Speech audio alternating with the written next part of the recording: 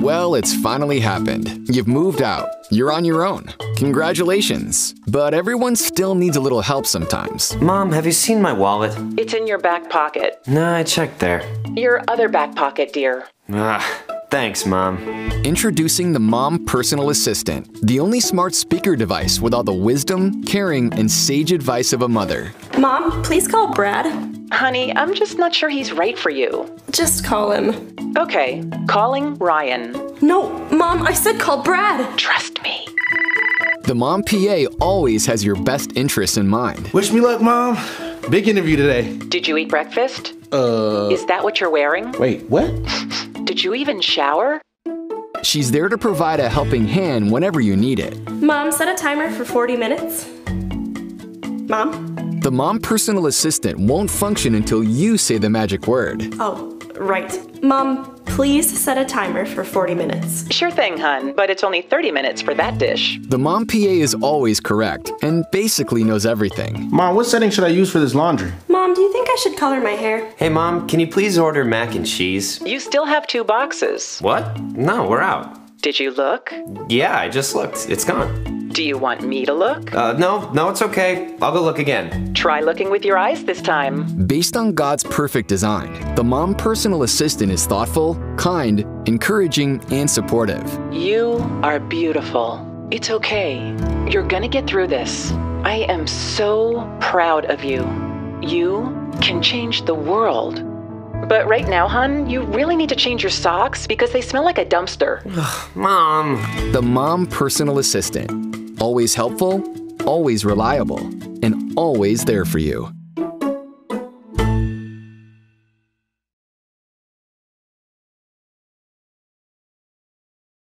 Well, good morning.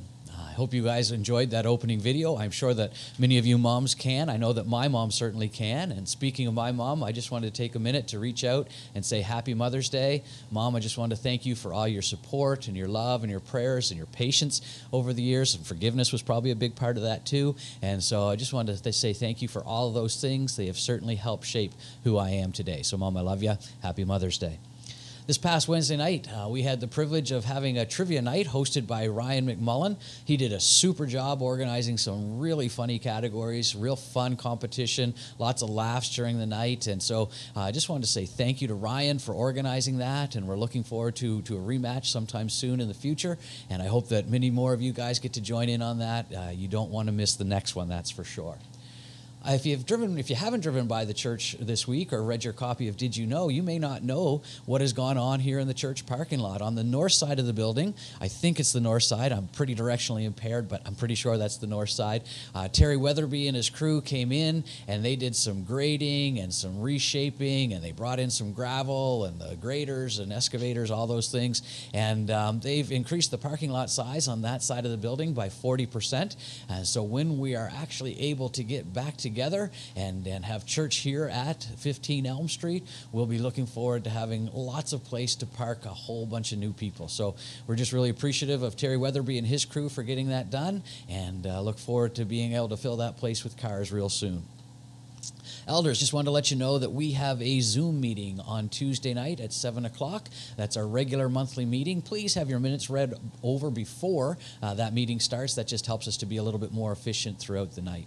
Also, on Wednesday night at 8, we're hoping to have a Zoom meeting with our search committee. Um, that search committee continues to look for a youth pastor. We're hoping to have that guy in place by September. And so please be praying for us and for wisdom in hiring the right person this point, I want to call our three ushers forward. That is Mr. Laptop, Mr. iPhone, and Mr. Android phone. And uh, we would like to take up our morning tithes and offerings. Um, again, giving is very simple. You can just go to the Church Center app or log on to the People's Church Truro website and uh, just click the Give Here tab. And it's pretty self explanatory, really easy to do.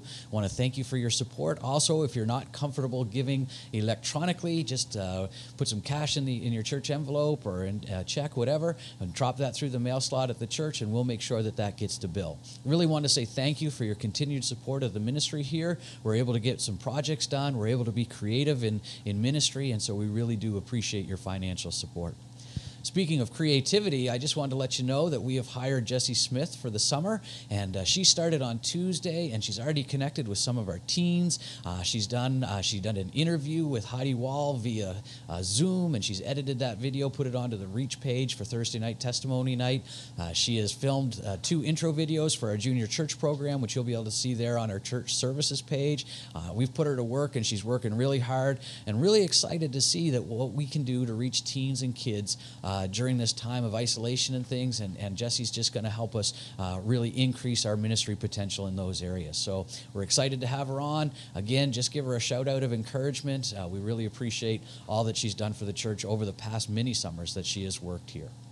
And then finally, before you go today, I would really appreciate it, and the church staff here would really appreciate it, if you pop back over to the church website and filled out a connection card. Doesn't take you very long. I know you're super busy in quarantine, uh, but if you wouldn't mind just dropping back over to the church, uh, to the church website, I'll edit that one out. Finally, uh, before you go, one thing that I would ask you to do is if you wouldn't mind popping back over to the church website, and the link there is in the description below on our YouTube channel. Um, if you just pop back over to the church site uh, website, we would really like it if you filled out an online connection card. You know, it just helps us know who's watching, where you're watching from. Uh, also, it gives us a chance to uh, pray for you if you have a prayer request, or you can pop us a note of encouragement. Uh, we really do appreciate when people fill those out, and um, if you wouldn't mind taking the time, we would certainly appreciate that. Hope you have a super day. Again, happy Mother's Day. God bless. We'll see you next week. Good morning and welcome. I hope your week was good. I hope you slept well last night, that your family is gathered, that breakfast was delicious. And welcome to the rest of you as well. I want to welcome those who struggled through the week, endured illness, disability, found the hospital or the care home breakfast to be less than desirable, and you feel distance from a family member or from your entire family. Welcome. We're glad for everybody to be here today. And today is Mother's Day. I want to say happy Mother's Day to my own mom. No boy ever had a better mom, and our family's blessed to have you. So thank you, Mom, and to my mother in law in Prince Edward Island as well. A great lady and a great mother in law. I just had a mom tell me this past week that in the last two months, her sons have become more attentive than ever. They stop by, they sit outside her window, or they put up chairs in the driveway so that they can sit at distance from one another, but they call regularly and she feels truly blessed. Happy Mother's Day to all of you moms. And as we have traditionally done, we want you to know that following the service, there will be flowers for all of you, flashlights for everybody, and Timbits in the foyer. I wish. Would you join me as we ask God for His presence and His blessing on our time together in His Word today. Father, thank you for this new day. Thank you for your mercy and your grace today. Thank you for the gift of your Son, the Lord Jesus, and the salvation that He purchased with His precious shed blood. Thank you for moms, all of them. Some feel fantastic and some feel like failures, but we give you thanks for every one. Thank you for all our political leaders. What a trying time to be in leadership. Lord, help them, bless them. May they turn to you for salvation, for wisdom, for strength. Thank you for our police force, our medical workers, our labor force, for grocery store shelves that are stocked and trucks that keep rolling. And thank you, Father, for caring for us so completely. We commit to you those who hurt and those who mourn great loss. May they turn their eyes upon Jesus to find hope and comfort and consolation in Him. And Lord, we think of our missionary family. Be pleased to bless each one in their service and surrender today. And Lord, we look into the scriptures this morning. As we do, we would be so pleased to have you meet with us and to bless your word to our lives. And this we ask in Jesus' name. Amen. Well, indeed, because it's Mother's Day, I've decided to hit pause on our study of the Gospel of Mark just for one week. By the way, a lady told me this past week that one of the best things about online service is the ability to hit pause on the pastor. Well, that, ouch, what else can I say? But nowhere in the scriptures is more attention given to the subject of parenting than in the story of Samuel's parents, Hannah and Elkanah. We meet them in 1 Samuel chapter 1. Hannah's name means grace. And I'm going to emphasize grace throughout this message this morning, grace in this story. She first appears as a woman who has no children. And then she becomes the mother of one of the greatest boys and greatest men that ever lived, and his name was Samuel. Her story is set in the period of the judges. At that time, there was no king in Israel, no leader. It was a time of turmoil and confusion. They were depraved morally, their religion had grown cold, and a great leader was needed. With the death of Samson, the Philistines were gathered around the edges of the country, ready to come in.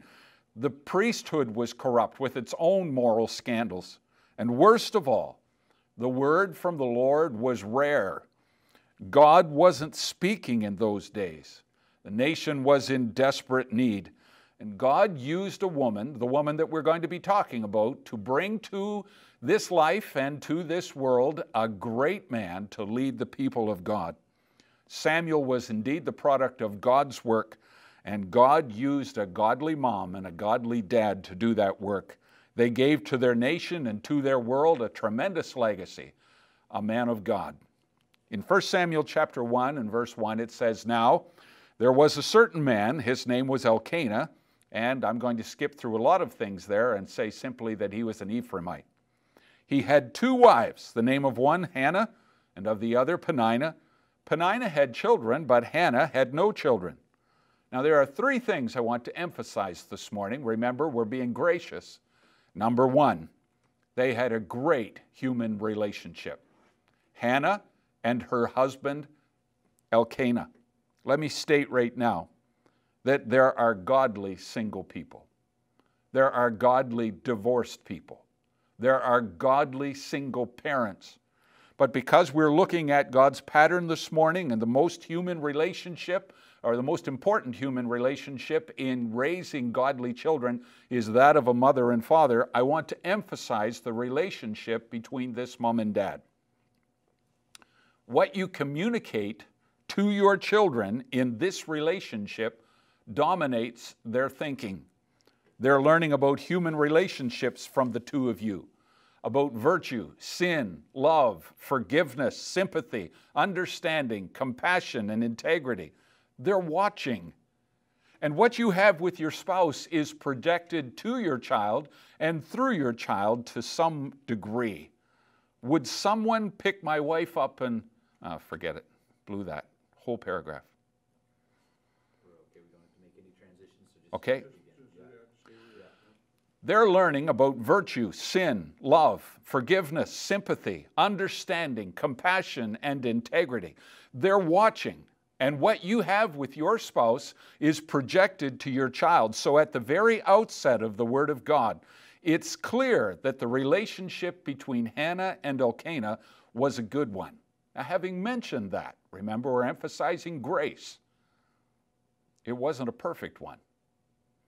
How many expect the ideal and anticipate the perfect when they anticipate a Christian marriage? and yet they grieve its absence in their own relationship. This man was married to two women. He was not a perfect man. And let's start by realizing you're not married to a perfect man either. Now, would someone pick up my wife and splash some cold water on her face, please? Thank you. Okay, now we can go on. Let me break that down for you. If your husband's gone, he wasn't perfect. If he's still here, he isn't perfect. If he's on the horizon, he won't be perfect. If he lived in your dreams, that's the only place he was ever perfect, unless you add two little words to me. He's perfect to me. She's perfect to me.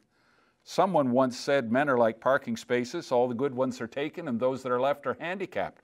Well, that's not fair and it's not true. All men are handicapped. By the way, in this age of equality, let me add that all women are handicapped too. I want you to understand that Hannah was married to a polygamist.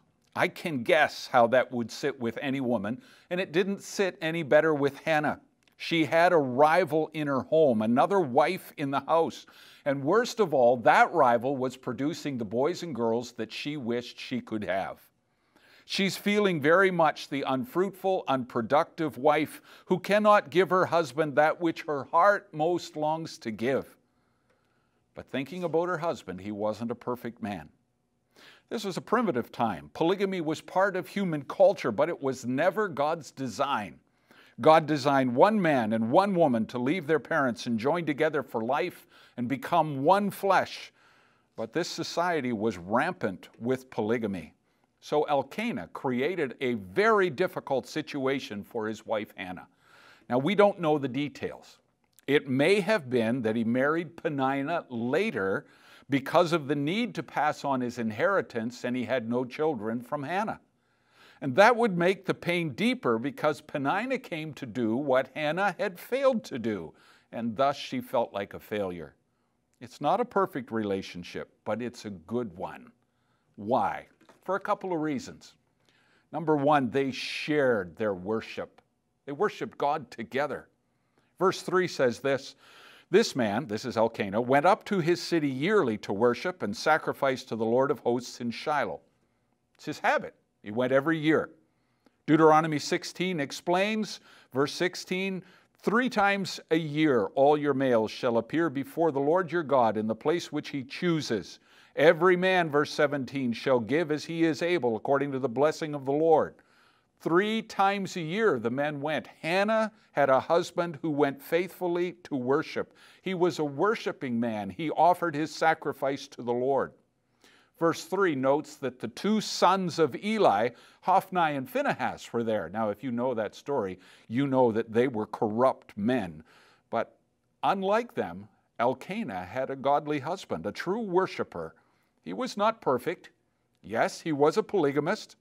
Yes, this was a violation of God's law, and yes, it brought negative consequences. It produced pain and heartache, and they had that in their family. And Peninnah, the second wife, rubbed it in and emphasized it. But here was a man who believed in God and worshiped Him. So, emphasizing grace, this lady had a husband who believed. Let me encourage you, young ladies. When you date, date a guy who loves the Lord Jesus. Date a guy who honors the Lord Jesus in every area of his life. And when you get married, marry a guy who loves the Lord Jesus and honors him. And young men, I encourage you to do the same. Date and marry only one who loves the Lord Jesus Christ. Don't just listen to their words, look at their lives. Put them to the test. Do they put Jesus Christ first, ahead of their passions, ahead of their possessions? Do they live out His Word? Do they genuinely reflect the character of Christ daily? So Hannah, emphasizing grace, had a godly husband, a spiritual leader, and they worshiped together. Your worship is vital in projecting godliness to your children. When God established the law for his people, Deuteronomy 7:1, when the Lord your God brings you into the land which you go to possess and has cast out the nations before you. Verse 3 You shall not make marriages with them. And then he gives the reasons why. They will turn your sons away from following me to serve other gods. Joshua repeats that injunction, chapter 23, verse 11. 2 Corinthians 6:14, don't be unequally yoked together with unbelievers those passages present the principle of marrying a godly man or a godly woman. Now, thanks be to God, by His grace, He can and He does often overrule in those situations. It may be that when you were married, you weren't a Christian and you've been drawn to Christ since. The scripture does not tell you to leave your husband. It may be that you married an unbeliever willfully, knowing what you were doing, and God in His grace can overrule in those circumstances. But for the sake of His purposes and for the plans that He's laid for us, the godly should marry the godly for the sake of His glory and the next generation. And this lady by the name of Hannah had a godly husband, and they shared worship. Let me ask you, are you faithful in your worship? Are you faithful to meet with God's people weekly? Are you faithful to meet with God in His Word daily? Maybe we should even say, Are you faithful to pray and talk to Him hourly? Are you faithful to live what you say you believe? Your spiritual devotion on a daily basis is communicating to your children a message they will never forget. they shared worship. The second reason they had a great human relationship, Elkanah and Hannah, is that they shared love. 1 Samuel 1 4 says, Whenever the time came for Elkanah to make an offering, he would give portions to Peninnah his wife and all her sons and daughters, but to Hannah he would give a double portion, for he loved Hannah. The implication is he didn't love Peninnah. Did you read that in there? Peninnah was there because she could produce children. Peninnah was there to create a future for his inheritance, but he loved Hannah and he made no attempt to hide that. When they offered their sacrifices on the altar, the priest would take a small portion and the most of it would come back to the family, and that evening they'd have a feast. And as he was passing out the food at the feast, he would give a double portion to Hannah because he loved her. She had his heart. It showed in his kindness, in his thoughtfulness, in his sacrifice and honor for her. A wife's security is found in her husband's love for her, not in his bank account, not in a fancy home or furniture. She finds her security in his love, and it needs to be demonstrated, and frequently so. The husband finds his security in knowing that he has his wife's respect. There's enough adversity knocking him down daily and making him feel inadequate. He needs to know, dear wife, that you respect him. And that's the way it was with Elkanah and Hannah. He took the time to demonstrate his love in private and public ways, and in spite of that love, he had another wife. You wouldn't like that one bit? Neither did she. Interesting, isn't it, how God balances things? Hannah had love, Peninnah had children. God, God was gracious to all of them. They shared love, they shared worship, they shared love, and thirdly, finally, in their great relationship, they shared feelings. Verse 6 And her rival, that's Peninnah, and she's listed as her rival. Her rival provoked her severely to make her miserable, to irritate her, because the Lord had closed the womb. Twice it states that the Lord had closed her womb. This isn't Hannah's problem. This is not Elkanah's, the husband's problem. This is the Lord's doing. And yet Peninnah would harass her, stick the knife in and twist it. It happened year after year as they went to the house of the Lord. She provoked Hannah so that Hannah wept and wouldn't eat. She goes to the big feast. Elkanah, her husband, loves her, gives her the double portion, and she can't eat a thing. And Elkanah can't understand. Oh, husbands, can you relate to that? Her husband said to her in verse 8, Why do you weep? Why aren't you eating? Why is your heart so grieved? And then I think he said something he regretted for the rest of his life. Am I not better to you than ten sons? Oh, I've thought those things and said those things. It's such a male answer. But he said it because he loved her, because he cared enough to ask how she was doing. And by doing that, he indicated that he shared feelings with her. He cared how she felt. He read her feelings and he asked a question Why, Hannah? Why? We husbands can be very insensitive and quick to give answers without hearing questions. I'm guilty. We're guilty. But Elkanah knew the conflict was intensified by Peninnah. He knew it was deep and painful. He knew it was a hard place for his wife to be. He was tender, sympathetic, and thoughtful, and he felt her sorrow. They had a deep human relationship. The second main point of this message is they had a right heavenly relationship. They were correct in their relationship with God. There were things right between she and her husband, no statement of conflict in that union, but there were things that were great between she or them and the Lord. Let's emphasize her side of things. Number one, she had a passion for God's blessing. Sometimes we think about that selfishly, but she wanted her life to be blessed of God, to be pleasing to Him, to know His favor. She wanted a child. She wanted a child so much she wept and fasted. What a great way to ask God. Her heart was broken over the fact she had no child. She did not have selfish motives. She didn't want to live out all of her own unfulfilled fantasies. She didn't want to fulfill a need for love. She already had that. She wanted a child for one reason to give him to God. God does not call all people to be married according to 1 Corinthians chapter 7. He gives some the gift of singleness. And there are times when, for God's own purposes, He does not give children. But parenting is a gift. Children are an inheritance from the Lord, and it is God who opens the womb. She desired a child and wanted to honor and glorify God with her child.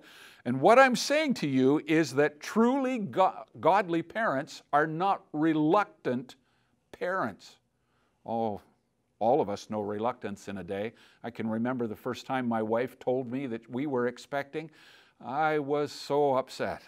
I thought life as I know it is over. My wife as I know her will never be the same, and we will be so tied down, and, and it's just going to be awful.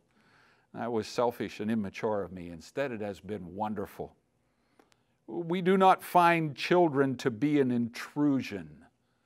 We do not usually find the child's schedule to crowd our own so that we have no life, but sometimes it does.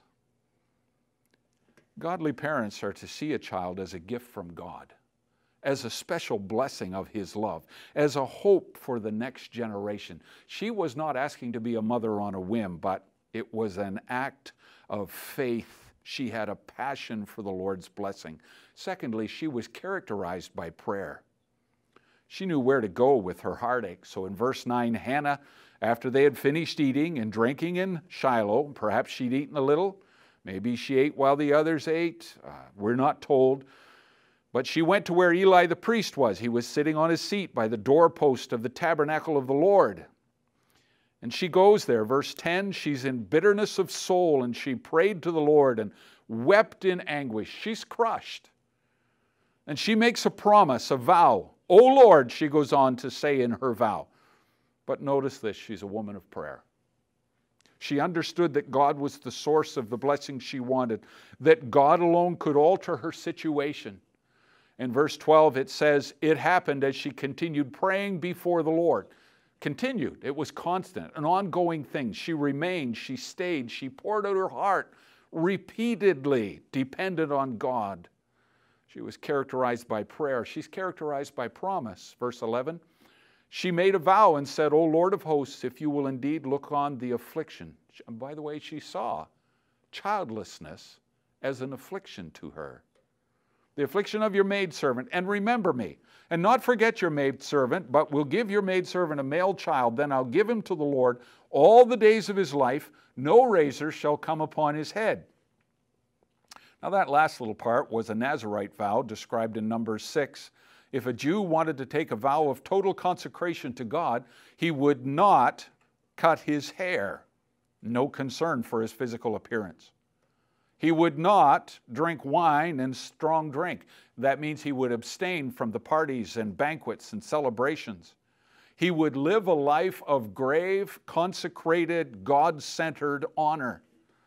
Many Jews took a Nazarite vow for a short time, but three in the scriptures were lifelong.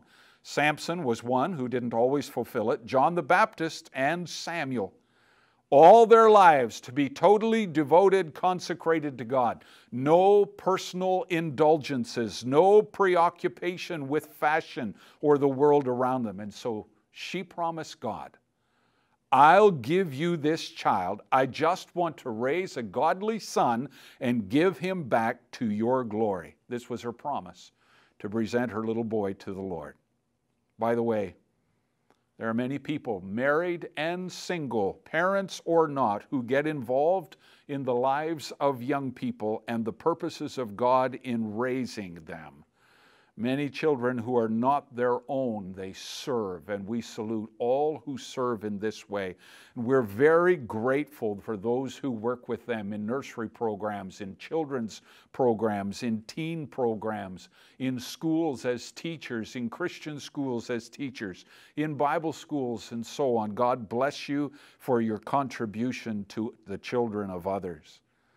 And number four, she was characterized by purity. Now, let me just put it bluntly Eli was a lousy high priest. Verse 12 says, It happened as she continued praying before the Lord that Eli watched her mouth. Do you have a family member, or are you guilty of it yourself when you're watching TV, when you're preoccupied or, or lost in your thoughts, listening to someone else, that your mouth moves in somebody else's words? I used to sit beside my grandfather while he watched hockey. You could get a black eye, and he wasn't even in the game. He kicked the puck in, he elbowed everybody in the room, but he was content and intent upon the game. This priest, sat there in the doorway watching her pouring out her heart and weeping and crying. And verse 13 Hannah spoke in her heart. Only her lips moved, her voice was not heard. Eli thought she was drunk. Now, that's quite a commentary on the situation in Israel the priest, seeing a person this lost and preoccupied in prayer, would determine she was drunk rather than deeply in prayer. And Eli said, How long will you be drunk? Put away your wine from you. And she said, No, my Lord. I'm a woman of a sorrowful spirit. I have drunk neither wine nor intoxicating drink, but have poured out my soul before the Lord. Don't consider your handmaiden a wicked woman. Don't consider me like that. For out of the abundance of my complaint and grief I have spoken. And Eli, hearing such a reasoned answer, said, Go in peace, and the God of Israel grant you your petition which you've asked of him. He mistook her for being drunk. Don't think your maidservant a worthless woman. Don't think I'm in that group. I'm not that kind of person. She was a woman characterized by purity. And number five, in her relationship with God, she had patient faith. Verse 18. She said, Let your maidservant find favor in your sight. And so the woman went her way and ate, and her face was no longer sad. Why? Because she had given her huge problem to God and left it there. She wasn't going to remain frustrated. She walked away trusting and that's a mark of a godly mother, one who casts the burden of her family on God and walks away. She eats and is no longer sad. And then one other thing, chapter 2 and verse 1 Hannah prayed and said, My heart rejoices in the Lord, my horn is exalted in the Lord. I smile, and on it goes. I rejoice. Why? She's praising God for his goodness to her. She had a right relationship with God. Now, there's a third point. Just briefly, let me mention it. She had a right home relationship. Look at verse 21. Now, the man Elkanah and all his house went up to offer to the Lord the yearly sacrifice and his vow. He's into his routine. He's a faithful guy. Three times a year to Shiloh. He gathers the whole household. Up they go. And verse 22 says, Hannah did not go up, for she said to her husband, not till the child is weaned. She's going to miss out on some of the things that have been part of their routine because she's dedicated to her child. Now, wait a minute.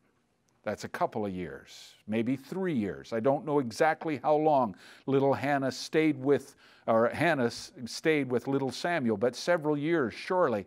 I'm not going. It's probably a two week trip. Travel there, a week there, travel back. Verse 19 says this Then they rose early in the morning and worshiped before the Lord. Husband and wife worshiping in the morning. Beautiful. And they returned and came to the house of Ramah, and Elkanah knew Hannah his wife, and the Lord remembered her. This name Samuel means heard by God. This child that Hannah bore was a child of her passionate cry to God a child of her vow, and I will not forsake my time with this child. Oh, Mom, you're probably painfully aware how quickly the time goes, is going, or has gone with your child. By the way, when we get older, we realize how quickly the time goes with our moms and how desperately we want to take advantage of time with that precious lady who gave us birth and gave us life. And some of you aren't able to get to your mums because of distance and because of the things that are going on right now. Maybe your mom's in a senior home and you're unable to go in and physically touch her or be in the same room. And our hearts go out to you in that. But how precious is time with mom? Fellow by the name of John Stiles wrote this poem. I have worshiped in churches and chapels. I've prayed in the busy street. I've sought my God and found him where the waves of the ocean beat. I have knelt in the silent forest in the shade of some ancient tree, but the dearest of all my altars was at my mother's knee. I've listened to God in his temple and have caught his voice in the crowd. I've heard him speak where the breakers were booming long and loud, where the winds played soft in the treetops. My God has talked to me, but I've heard him ever clearer when at my mother's knee. The things in my life that are worthy were born on my mother's breast and breathed into mine by the wonder of her love, her life expressed. The years that have brought me to manhood have taken her far from me, but memory keeps me from straying too far from my mother's knee. God, make, the, make me the man of her vision and purge me of selfishness. God, keep me true to her standards and help me to live to bless. God, hallow the holy impress of the days that used to be and keep me a pilgrim forever to the shrine at my mother's knee. Do you have a mom like that? Such was the testimony of Samuel in the years that Hannah dedicated herself to him as a little boy. Elkanah, verse 23, her husband said to her, Do what seems best to you. I love that. A husband who trusted his wife and trusted her wisdom. He wanted her to go. She said no, and he said, All right, do what seems best to you. That's great. Wait until you have weaned him. Only let me caution you let the Lord establish his word. Don't back up on your vows. So the woman stayed and nursed her son till she had weaned him. And then at the end of verse 22, she said, I will take him that he may appear before the Lord and remain there forever. What a gift that must have been. She dedicated that child to God. Verse 27 For this child I prayed, the Lord has granted me my petition. Therefore I've also lent him to the Lord. As long as he lives, he shall be lent to the Lord. And they worshiped the Lord there. What a scene. She sought nothing from him. She gave her precious child to God. Never, though, did she drop her responsibility for him.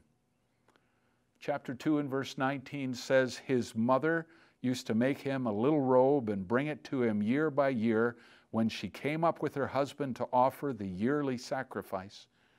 And Eli would bless Elkanah and his wife and say, The Lord give you descendants from this woman for the loan that was given to the Lord. And they would go to their own home, and the Lord visited Hannah, and she conceived and bore three sons and two daughters.